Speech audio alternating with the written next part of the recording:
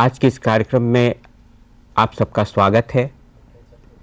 जैसा कि आपको मालूम है, हमारे विश्वविद्यालय ने हिंदी पाठ्यक्रम के अंतर्गत दो महत्वपूर्ण पाठ्यक्रमों का निर्माण किया है।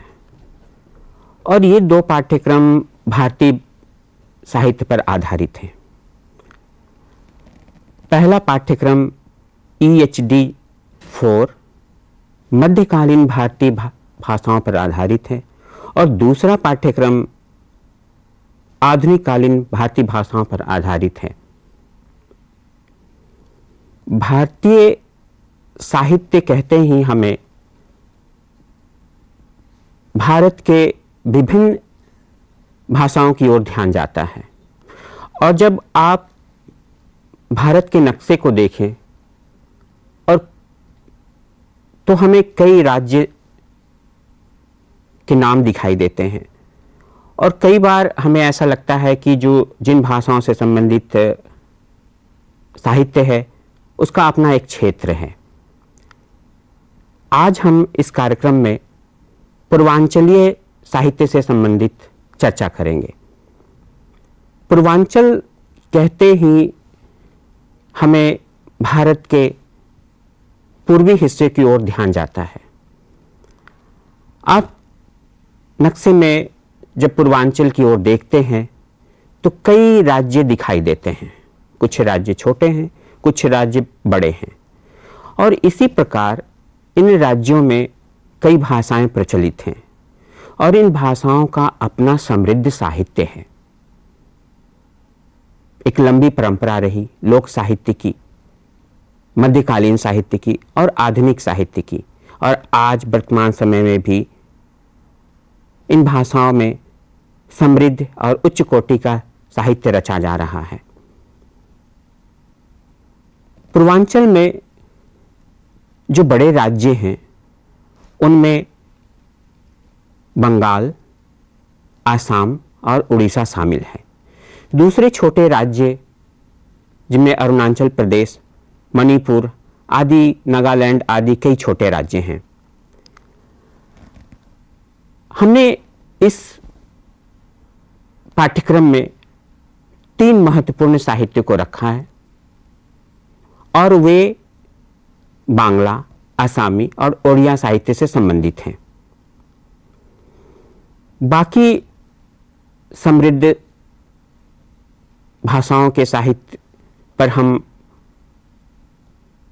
पाठ्यक्रम बनाएँगे और उनके महत्वपूर्ण रचनाकारों को भी जानने का प्रयत्न करेंगे।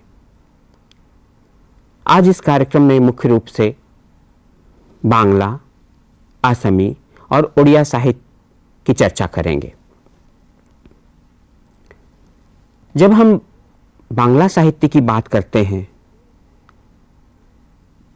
तो निश्चित रूप से आपको ये मालूम होगा। और आप जानते होंगे कि बांग्ला साहित्य के सबसे बड़े रचनाकार के रूप में रविन्द्रनाथ ठाकुर का नाम प्रसिद्ध है। रविन्द्रनाथ ठाकुर जिन्होंने एक ऐसे साहित्य की रचना की जिसके कारण वो विश्व कवि कहलाए। और भारत का नाम उन्होंने रोशन किया। नोबेल पुरस्कार पाने के बाद संसार में भारतीय साहित्य की बात की जाने लगी और रविन्द्रनाथ ठाकुर विश्व कवि के रूप में जाने, पहचाने जाने लगे। रविन्द्रनाथ ठाकुर से पहले बांग्ला साहित्य की अपनी एक लोक परंपरा रही और उसके बाद के साहित्य में जिन महत्वपूर्ण रचनाकारों ने योगदान दिया, उसमें शरद चंद बंकिम चंद आदि प्रमुख हैं। जैसा कि आपको मालूम है, इस साहित्य, इस पाठ्यक्रम का मुख्य उद्देश्य तत्कालीन समय में जो रचनाएँ की गई और उन, उस प्रकार के साहित्य का क्या उद्देश्य था, इसे ही हमने इस पाठ्यक्रम में शामिल किया है। आपको मालूम है, जिस समय अंग्रेज़ों का शासन था इस देश पर और भारत प्रतंत्र था अंग्रेज़ों का गुलाम था। और एक समय ऐसा आया, जब प्रबुद्ध भारतीयों में एक चेतना जगी। देशवासियों में देश के प्रति एक प्रेम जगा। और ऐसा नहीं था कि यह प्रेम नहीं था। लेकिन विदेशी शासन के कारण जो शोषण की प्रवृत्ति अपनाई गई यहाँ के लोगों का जो शोषण हो रहा था, उस पर चिंतकों का ध्यान गया, समाज सुधारकों का ध्यान गया, और जितने तत्कालीन बुद्धिजीवी वर्ग थे, उनका ध्यान गया। और विशेष रूप से साहित्यकारों ने अपने साहित्य के माध्यम से लोगों में राष्ट्रीय चेतना जगाने का कार्य किया। इसके साथ साथ एक बात और भी महत्वपूर्ण थी। चिंतकों ने यह भी देखा कि भारतीय समाज में कुछ ऐसे बातें हैं जिन्होंने समाज को बांट रखा है, मनुष्य को बांट रखा है।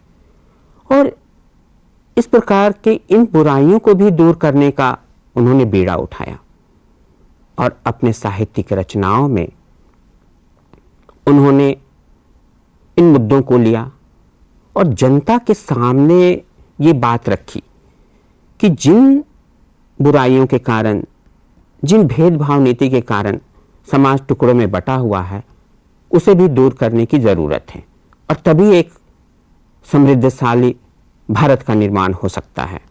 विश्व विश्वकवि रविन्द्रनाथ ठाकुर ने इसी उद्देश्य के लिए कई महत्वपूर्ण रचनाओं की रचना की और लगभग उनके पूरे साहित्य में ये बात हर जगह दिखाई देती है। जहाँ एक और उन्हें राष्ट्र की चिंता है, वहीं समाज की भी चिंता है। गुरुदेव ने सौ से अधिक साहित्य की रचनाएँ की और उनके साहित्य में एक और विश्व भावना, प्रेम, प्रकृति प्रेम है तो दूसरी ओर सामाजिक बुराइयों के भी और उनका ध्यान जाता है और उन विषयों पर भी वो चिंता व्यक्त करते हैं। उनकी रचनाओं में जहाँ एक और मानवता है तो दूसरी ओर विश्व प्रेम है। और ये दो मुख्य बातें उनके पूरे साहित्य में दिखाई देता है। उनका साहित्य विशाल साहित्य है और उन्होंने सभी विधाओं पर रचनाएँ की। उपन्यास लिखे, कहानियाँ लिखी, नाटक लिखे, कविताएँ लिखी, बच्चों के लिए लिखा, समाज के विभिन्न वर्गों को उनमें शामिल किया और अपने, अपनी रचनाओं के माध्यम से उन्होंने जनता को जगाने का कार्य किया।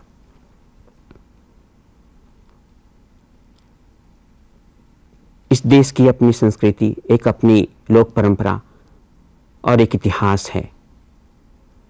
उनके साहित्य में जहाँ एक और परंपरा का निर्वाह किया गया, वहीं आधुनिकता का बोध भी उसमें है। नए दौर में समाज में क्या परिवर्तन आए, इसकी भी चिंता उन्होंने अपने साहित्य के माध्यम से व्यक्त की।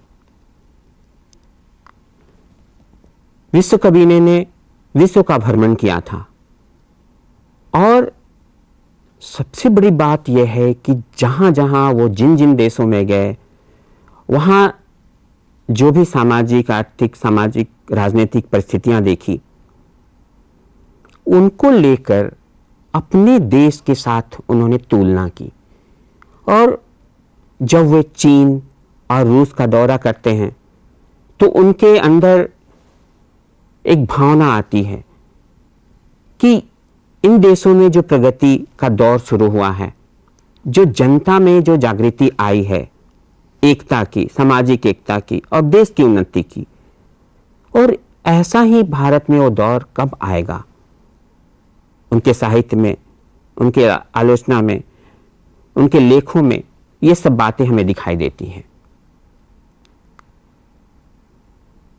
उनकी बहुत सी ऐसी रचनाएँ हैं जिनमें समाज के निम्न वर्ग के लोगों को लेकर उन्होंने चिंता व्यक्त की।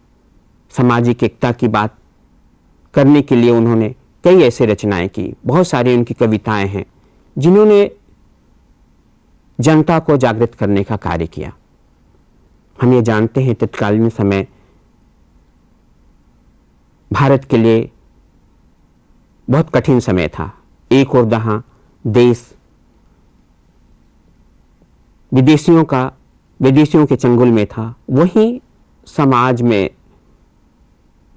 इतनी सारी बुराइयाँ घिर गई थी, जिसके कारण समाज जर्जर अवस्था में पहुँच गया था। और तत्कालीन लेखकों ने अपनी लेखनी के माध्यम से इन्हीं सब बुराइयों को दूर करने का प्रयत्न किया। रविन्द्रनाथ ठाकुर केवल बांग्ला भाषा के ही नहीं, भारतवर्ष के नहीं, विश्व के महान रचनाकारों में हैं। क्योंकि उनकी जो विश्व भावना उनकी रचनाओं में दिखाई देती है, वह अद्भुत है। और जब उनकी रचनाओं को आप ध्यान से पढ़ेंगे, देखेंगे, गुनेंगे, समझेंगे तो आपको निश्चित रूप से उसमें विश्व प्रेम की भावना दिखाई देगी। मनुष्य की एकता की बात दिखाई देगी। एक छोटा सा उदाहरण ज़रूर यहाँ मैं बताना चाहूँगा। वह ऐसा दौर था, जब उन्नीसवीं शती में राष्ट्रीयता की भावना पनप रही थी। ऐसे राष्ट्रीयता की, जिसमें हर एक देश एक नेशन के रूप में, एक राष्ट्र के रूप में उसके अंदर जागृति आ रही थी। अपने देश के प्रति राष्ट्र प्रेम की भावना जाग रही थी। गुरुदेव रविन्द्रनाथ ठाकुर जापान पहुँचे। और जापान पहुँचने पर उनका भव्य स्वागत हुआ। एयरपोर्ट पर काफ़ी संख्या में लोग उन्हें लेने आए। उसके बाद वहाँ जापान में उन्होंने एक भाषण दिया और उसमें उन्होंने राष्ट्रीयता के खिलाफ बातें कही। और विश्व भावना, विश्व एकता, मानवता पर उन्होंने एक व्याख्यान दिया। और जब वो वापस आए तो कुछ ही लोग उन्हें छोड़ने आए थे। इस छोटी सी घटना से ही आप अंदाज़ा लगा सकते हैं कि विश्व कवि ने केवल एक राष्ट्र को ही नहीं, एक देश के रूप में माना। उन्होंने पूरे विश्व को एक राष्ट्र के रूप में देखा। पूरी मानवता पर उन्होंने चर्चा की, पूरी मानवता की बात उन्होंने कही। जब वे अपनी कविताओं में यह कहते हैं कि विपदों में और रखा करो, ये नहीं मोर भावना। आमिना जेने कोरी भय वो एक अलौकिक शक्ति से प्रार्थना करते हैं कि विपत्ति में मेरी रक्षा करो, ये मैं नहीं कामना करता हूँ।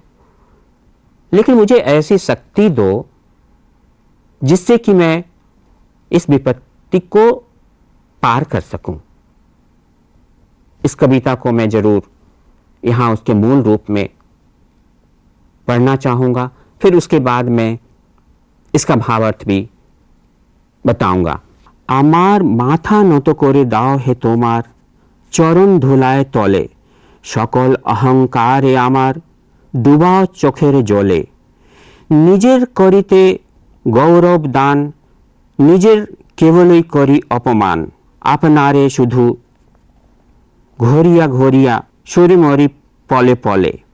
সকল অহংকারে আমার ডুবাও চোখের জলে।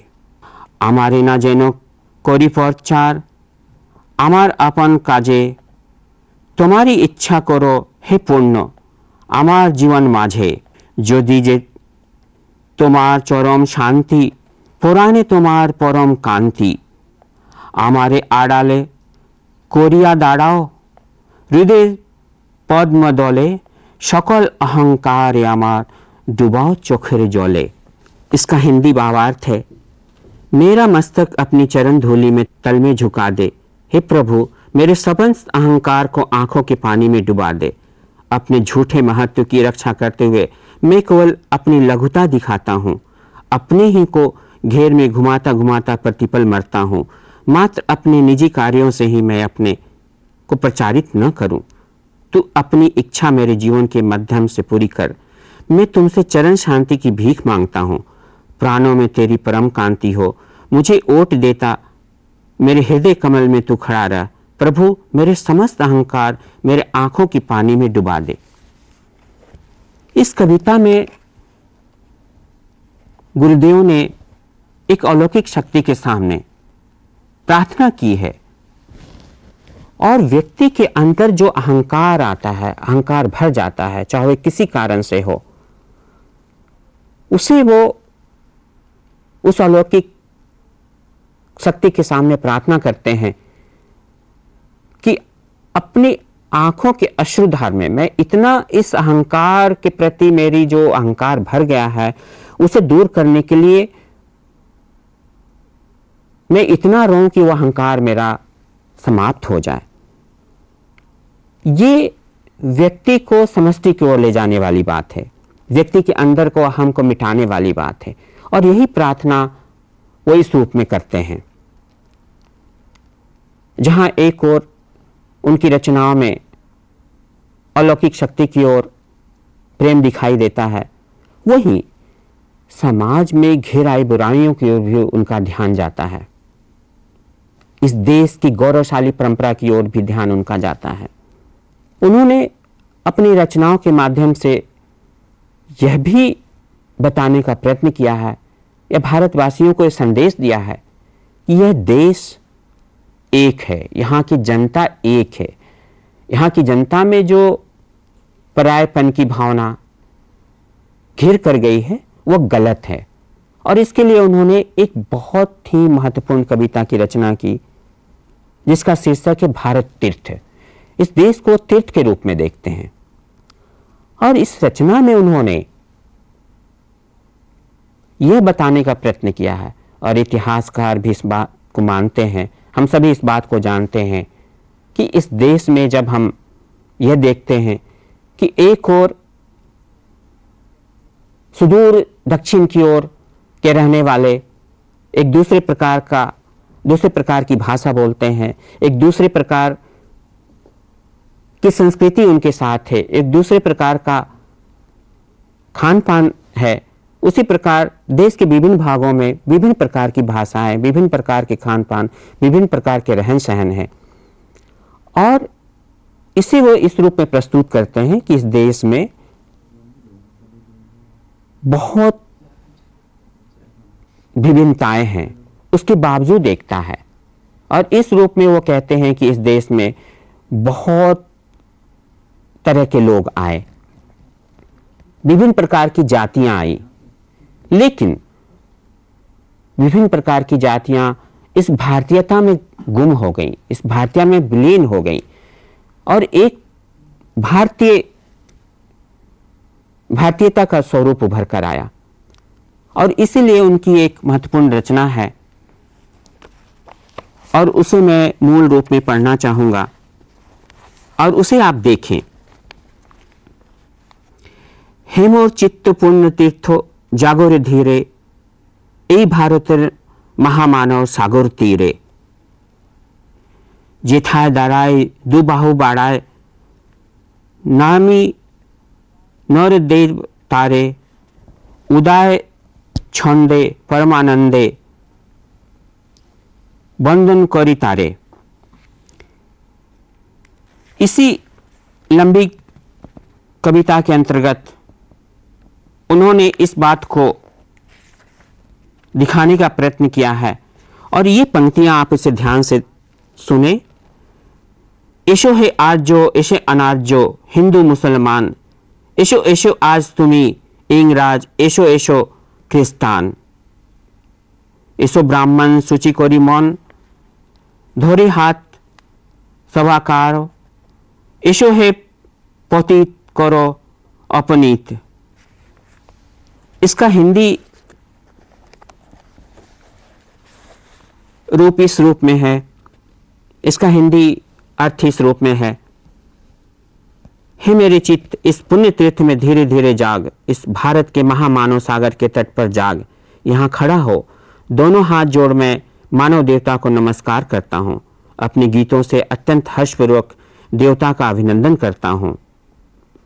इन ध्यान मग्न पर्वत शिखरों पर नदियों की जयमाला, धारण किए हुए विस्तृत क्षेत्र पर इस पृथ्वी पर भारत के महामानव सागर के तट पर तू उस नित्य अवलोकन कर।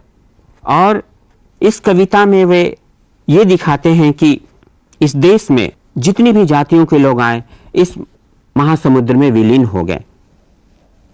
यहाँ आर्य आए, यहाँ अनार्य आए। द्रविड़, चीन शक, हून, पठान, मुगल एक ही देश में विलीन हो गए। ये जो इस कविता में उनकी ये जो भावना है, एक, एकता का प्रतीक है, विभिन्न जातियों के मिलन से इस महामानव का निर्माण हुआ है, एक भारतीयता का निर्माण हुआ है, उसे वे प्रमाणित करना चाहते हैं। उसे वे दिखाना चाहते हैं कि तुम जो विभिन्नता की बात करते हो, जो तुम अलग अलग अलगाव की बात करते हो वास्तव में सही नहीं है। इस भारतीयता के निर्माण में, इस भारत के निर्माण में, इस भारत देश के मानव के निर्माण में सभी जातियों के लोगों ने एक योगदान दिया है और ये भारत देश ऐसा है जिसमें आकर सब विलीन हो गए। सब, सबों ने मिलकर इसे एक अपना देश माना और एक राष्ट्रीयता, एक एकता के रूप में इसे प्रमाणित किया। और यही नहीं, इसके बाद उनकी एक और महत्वपूर्ण रचना है और उसमें इस देश की सामाजिक परिस्थितियों को, इस देश की सामाजिक जो स्थिति है, उस पर वो चिंता व्यक्त करते हैं और उस पर केवल चिंता ही नहीं, वो क्रोध भी व्यक्त करते हैं।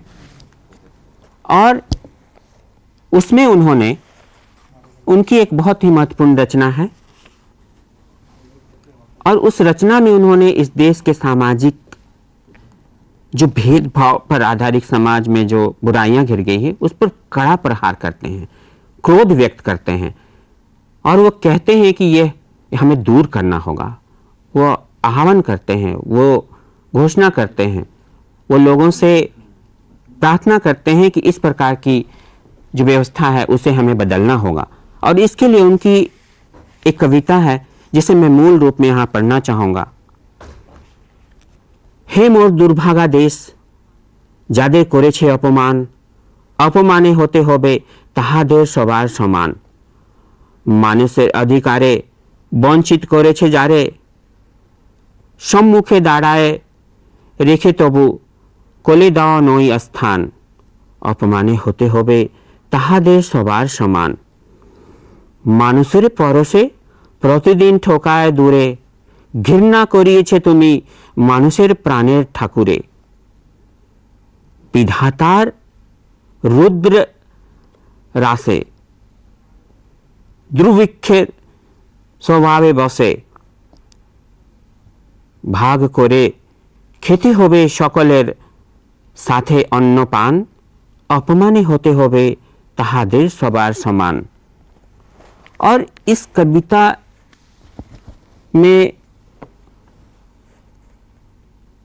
उन्होंने भारतीय सामाजिक व्यवस्था पर कड़ा प्रहार प्रकट किया है और वे कहते हैं ये लोगों को बताते हैं कि ये जो व्यवस्था है इसमें जो तुमने मनुष्य को विभिन्न वर्गों में बांट रखा है इसके लिए तुम्हें पश्चाताप करना होगा प्राश्चित करना होगा और इसके लिए तुम्हें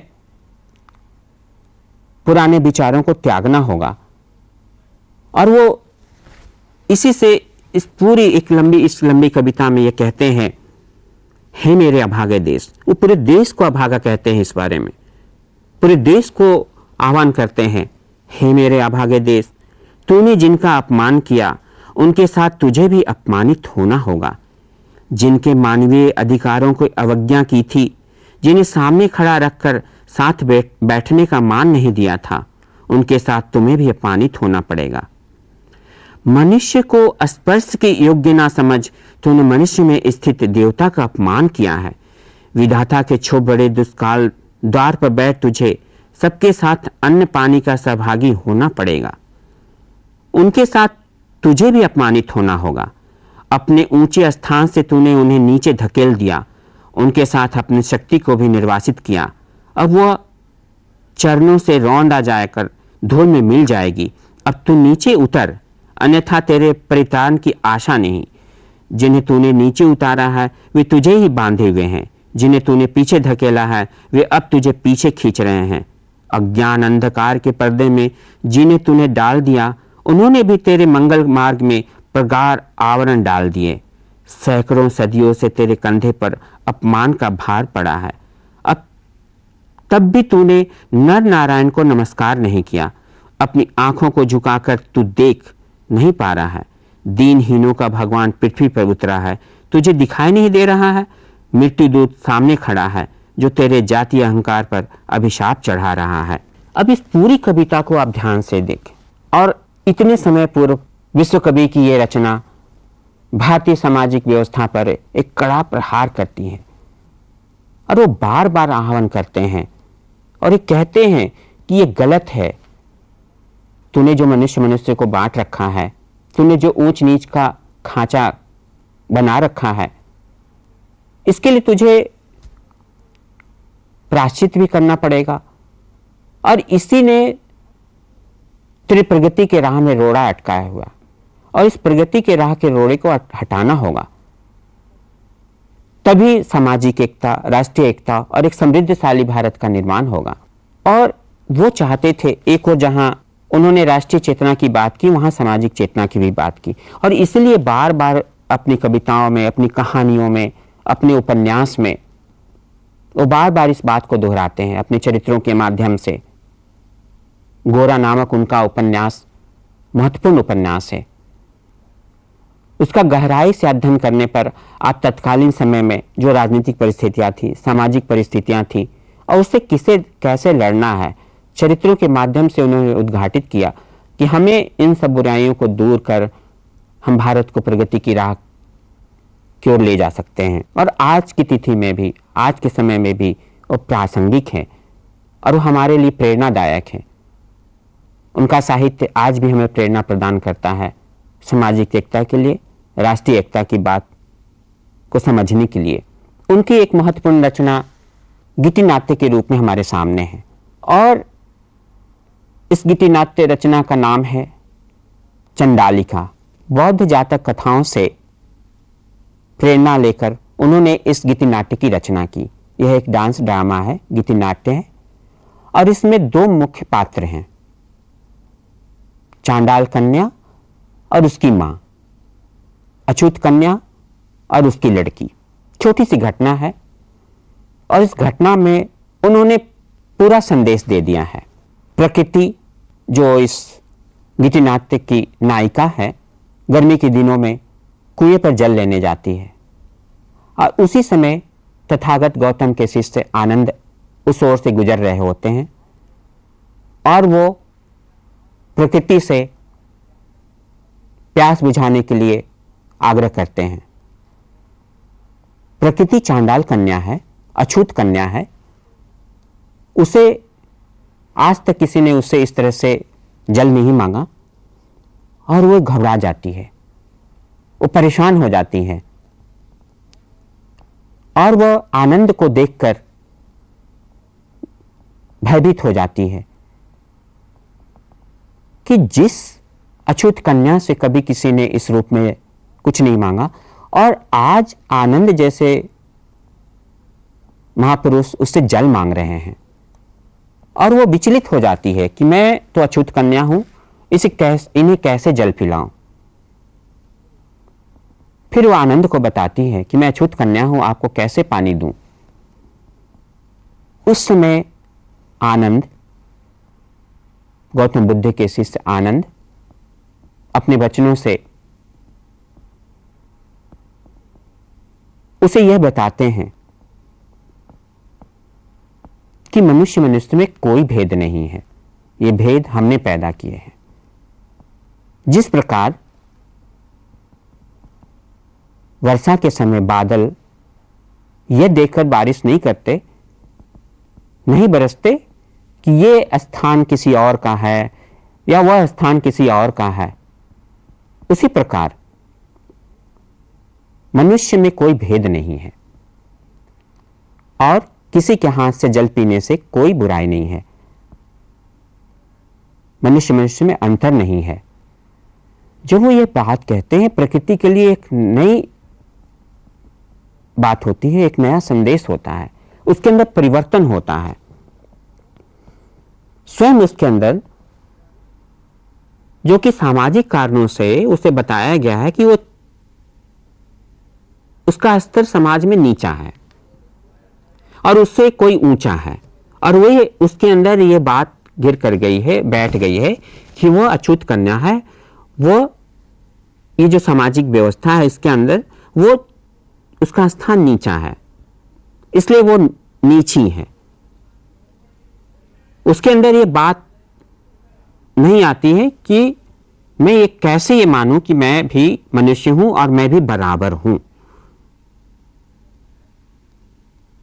फिर भी जब उस, उसमें परिवर्तन आता है गौतम बुद्ध के शिष्य आनंद के वचनों के द्वारा तो उसमें एक बहुत बड़ा बदलाव आता है। फिर वो अपने को आत्मसम्मान देती है। बुद्ध के शिष्य के वचन से उसमें यह बात आती है कि अपने को छोटा समझना गलत है। और फिर वह बुद्ध के शिष्य आनंद को जल देती है, आनंद जल पीते हैं और वहाँ से चले जाते हैं। लेकिन इसके बाद प्रकृति में जो नायिका है, ये जो चांडाल कन्या है, अछूत कन्या है, इसमें परिवर्तन होता है और वो शुद्ध बुद्ध खो बैठती है और उसी समय उसकी माँ का आगमन होता है, वो पुकारती है। और फिर उससे कई प्रश्न होते हैं। फिर माँ और बेटी में जो प्रश्न है, टिगोर ने इस गीति नाट्य में जो संवाद के माध्यम से जो बातें बताने का प्रयत्न किया है, वो बहुत महत्वपूर्ण है। इस गीति नाट्य में कई महत्वपूर्ण गीत हैं। इसके मंचन में, इस गीति नाट्य के मंचन में उन गीतों को गाया जाता है और उसके माध्यम से एक सामाजिक संदेश है।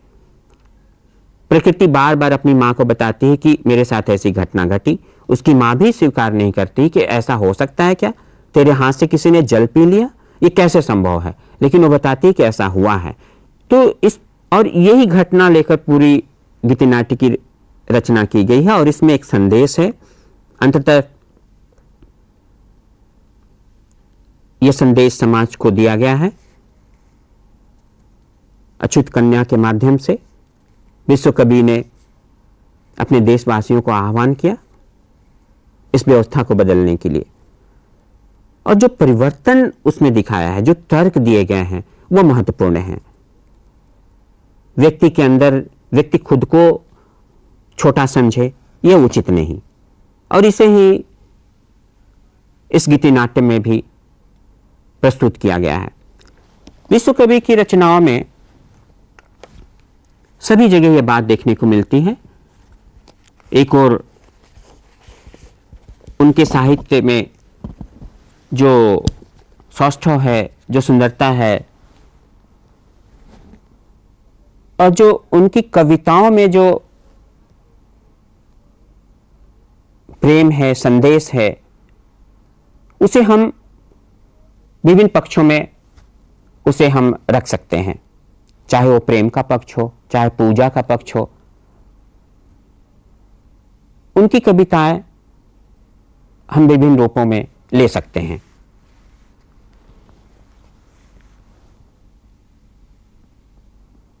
इस पाठ्यक्रम में विश्व कवि की समस्त रचनाओं को पढ़ाना संभव नहीं, लेकिन मैं चाहता हूँ कि हमारे छात्र विश्व कवि की अन्य रचनाओं को भी पढ़ें, उनकी कविताओं को भी पढ़ें। हिंदी में उनकी कविताएँ अनुदित हैं। उनकी बहुत लगभग उपन्यास कहानियाँ अनुदित हैं। उनकी कहानियों में, उनकी बाल हास्य नाटकों में भी चरित्रों के माध्यम से उन्होंने बहुत ही महत्वपूर्ण बातें कही हैं। जिसे हमें ग्रहण करने का प्रयत्न करना चाहिए। विश्व कवि की समस्त साहित्य पर चर्चा करने के लिए हम अलग से उनके एक एक रचनाओं को लेकर भी हम चर्चा कर सकते हैं। बांग्ला साहित्य में अन्य रचनाकारों में एक महत्वपूर्ण रचनाकार को हमने इस पाठ्यक्रम में रखा है। और उनका नाम है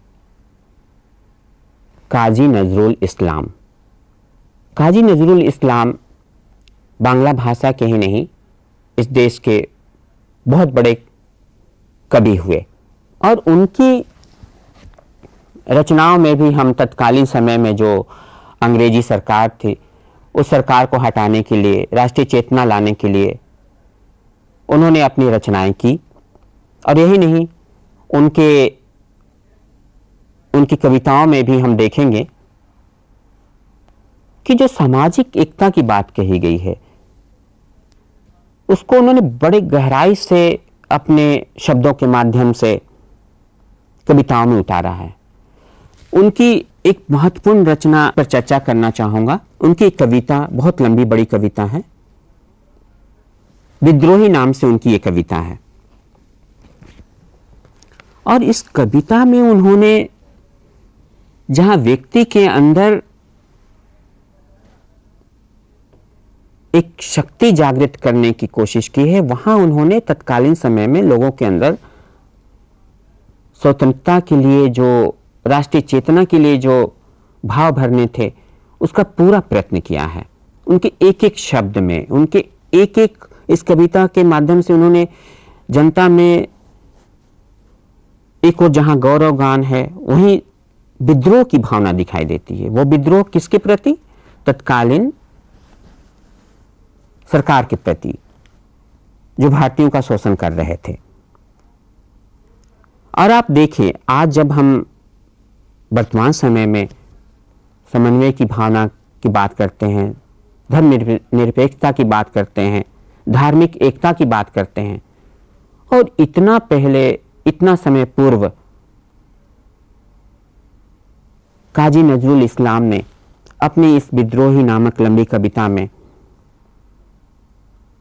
हमें एकता की, धार्मिक एकता की, धार्मिक सहिष्णुता की बात की। उनकी कविताओं के कुछ पंक्तियों को मैं यहाँ पढ़ूँगा, मूल बांग्ला में। फिर मैं उस पर चर्चा करूँगा। विद्रोही बोलो वीर বল, উন্নত মম শির শির নেহারি আমারি, নত শির ওই শিখর হিমাদির, বল বীর। বল, মহাবিশ্বেশ্বর মহাকাশ ফাড়ি চন্দ্র সূর্য গ্রহ নারা ছাড়ি, ভূলোক ভূলোক গোলোক ভেদিয়া, খোদার আসন আরাস ছেদিয়া, উঠিয়াছি চির বিস্ময়, আমি বিশ্ববিধাতের, মমতালাটে রুদ্র ভগবান, জলে রাজ রাজ টিকা দীপ্ত জয়শ্রী বলবীর আমি চির উন্নত শির। আমি চির দুর্দম দুবিনীত নৃশংস মহাপ্রলয়ে আমি নটরাজ। আমায় সাইক্লোন, আমি ধ্বংস। ভামি মহাভয়, আমি অভিশাপ পৃথিবীর, ভামি দুবীর। আমি ভেঙ্গি করি সব চুরমার, আমি অনিময় ও শৃঙ্খল আমি দলে যাই জলবন্ধন যশ নিয়ম কানুন শৃঙ্খল। আমি মানি না কোনো আইন। আমি ভরা তরি করি, ভরা ডুবি, আমি টটপেট আমি ভীম। ভসমান মাইন, আমি ধূর্জাতি আমি এলোকেশ, ঝড় অকাল বৈশাখীর আমি বিদ্রোহী আমি বিদ্রোহী। শোনো বিশ্ববিধাতির। বলবীর, চির উন্নত মমশির। ভামি ঝঞ্ঝা, আমি ধর্ণী আমি পথ সম্মুখে যাহা পাই যাই চূর্ণে। আমি নৃত্য পাগল ছন্দ, আমি আপনারে তালে নেচে যাই। আমি মুক্ত জীবনানন্দ, আমি হামবীর, আমি ছায়া নট, আমি হিন্দোল।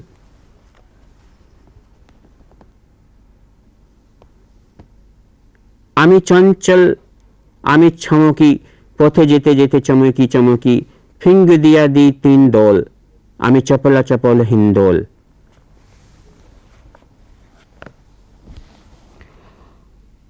আমি আপনারে ছাড়া করি না কাহারে কর্নিশ আমি প্রাণ খোলা আমি হাসি উল্লাস আমি সৃষ্টি বৈরী মহাত্রাস